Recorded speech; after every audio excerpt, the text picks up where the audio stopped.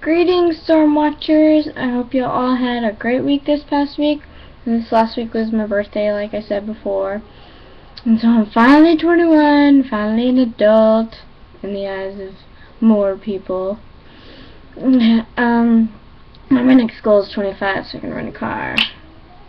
No, but, uh, yeah, so my birthday was last week, and let's see, tried a few things, and this coming week, as many of you know, and some of y'all are out of school because of it, uh, Thursday is Thanksgiving.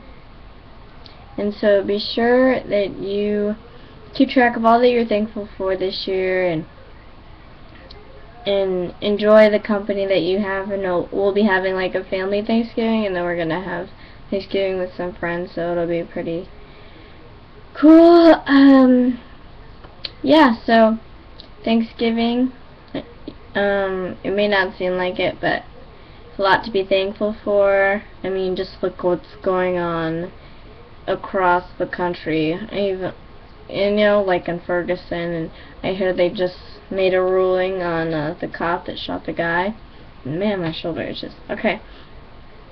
And Mockingjay came out last weekend, so I heard a lot of people went to go see it, and it was really, really good yeah. So, I'm gonna make this a short video because I'm about to go watch me some Gotham. It's supposed to be a good one. Um, yeah. So, happy Thanksgiving, Storm Watchers. And I'll see y'all next week, and we'll probably start talking about Christmas, since Thanksgiving is the only thing keeping me from getting excited about Christmas. Alright, Storm Watchers. Happy Thanksgiving, and don't be trampled by, um, Black Friday shoppers.